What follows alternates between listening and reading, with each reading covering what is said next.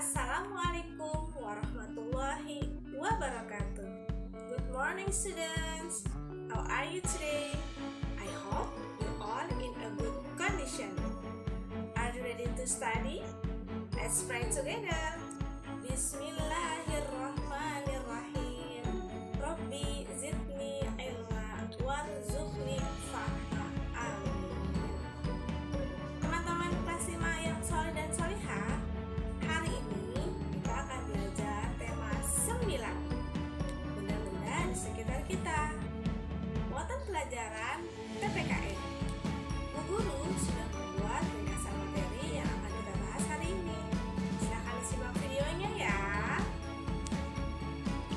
Tema 9, subtema 2 dan 3, muatan pelajaran PPKN. Materi yang akan kita bahas kali ini adalah menggali manfaat persatuan dan kesatuan untuk membangun kerukunan hidup. Sudah menjadi tugas dan kewajiban kita sebagai warga Indonesia yang terdiri dari berbagai macam perbedaan untuk selalu menjaga dan memelihara persatuan dan kesatuan bangsa. Sikap memelihara persatuan dan kesatuan bangsa dapat ditunjukkan antara lain dengan cara sebagai berikut. 1. Memiliki perasaan sebagai satu bangsa dan satu tanah air walaupun berbeda suku, budaya, dan agama. 2. Mencintai dan melestarikan budaya daerah untuk memperkuat budaya nasional. Peristiwa dalam masyarakat yang mencerminkan persatuan dan kesatuan bangsa yang beragam, contohnya dapat dilihat dalam kegiatan berikut. 1. Aktif berpartisipasi dalam kegiatan gotong royong. 2. Mengikuti festival budaya Nusantara atau kegiatan kebudayaan lain di daerah sekitar. 3. Ikut serta dalam acara jambore nasional untuk dapat berinteraksi dengan teman-teman yang berada di daerah, suku, dan agama yang berbeda. Perbedaan juga bisa kita temui di dalam lingkungan rumah kalian masing-masing. Misalnya, perbedaan usia, perbedaan pendapat, hobi, sifat, kebiasaan, makanan kesukaan, dan lain-lain. Meskipun memiliki perbedaan, tapi kita tetap harus mengembangkan semangat persatuan dan kesatuan dalam keluarga. Perbedaan tidak boleh dijadikan sebagai sumber perpecahan. Sikap-sikap yang harus dikembangkan untuk menjaga kerukunan dalam perbedaan di lingkungan rumah adalah dengan saling menghormati dan menghargai, tidak mementingkan diri sendiri atau egois, serta tolong-menolong dan saling bekerja sama. Sebagai makhluk sosial, manusia tidak dapat hidup sendiri. Bantuan dari orang lain sering kita perlukan dalam berbagai kegiatan yang kita lakukan sehari-hari. Oleh sebab itu, kita perlu menjaga hubungan baik dengan orang lain. Berikut adalah manfaat dari menjaga kerukunan di lingkungan masyarakat. 1 mempererat persatuan dan kesatuan di lingkungan masyarakat.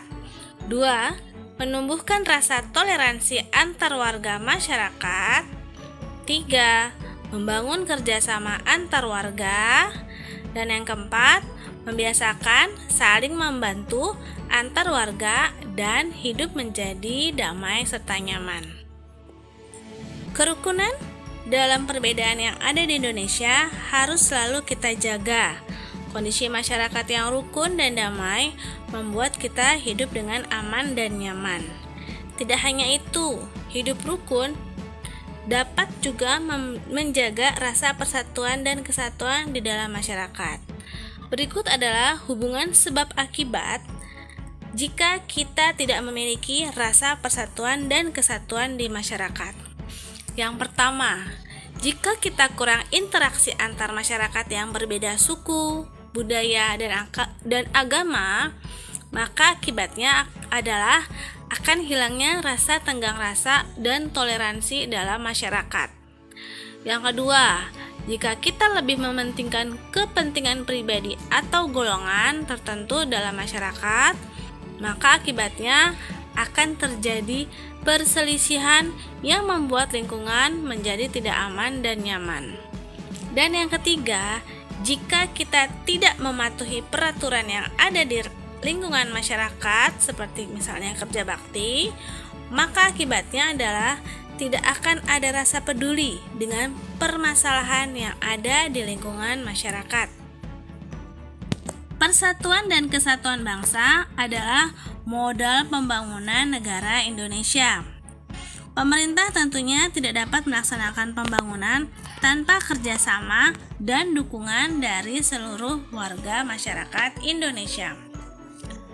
Berikut adalah usaha-usaha yang perlu dilakukan pemerintah untuk membina persatuan dan kesatuan dalam masyarakat, yaitu dengan menjamin hak kebebasan masyarakat dalam memeluk agama dan melakukan ibadah sesuai agamanya masing-masing, kemudian menjalankan pemerintahan secara adil dan terbuka, mengadakan berbagai festival kebudayaan, dan menggunakan bahasa Indonesia sebagai bahasa nasional yang baik dan benar dalam acara resmi. Serta tidak lupa juga untuk mengusahakan pemerataan pembangunan di seluruh wilayah Indonesia. Tugasmu hari ini adalah lakukan pengamatan terhadap berbagai kegiatan yang mencerminkan kerukunan di lingkungan sekitarmu. Kemudian catatlah dalam tabel berikut ini Kerjakan seperti contoh ya. Misalnya, satu, peringatan Isra Mi'raj diperingati di Musola Al-Ikhlas. Orang-orang yang terlibat dalam kegiatan tersebut adalah seluruh warga di lingkungan sekitar. Maka, manfaat yang bisa kita peroleh adalah dengan menambah ilmu dan mempererat silaturahmi antar warga. Silahkan kalian tuliskan tiga kegiatan lainnya yang dapat mencerminkan kerukunan di lingkungan sekitarmu. Silahkan tuliskan dengan tulisan yang jelas.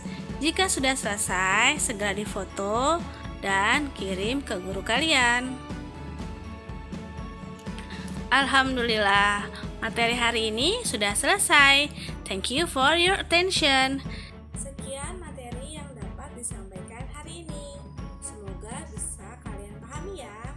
Jika ada materi yang belum kalian pahami atau kalian masih bingung, kalian boleh bertanya dengan guru kalian.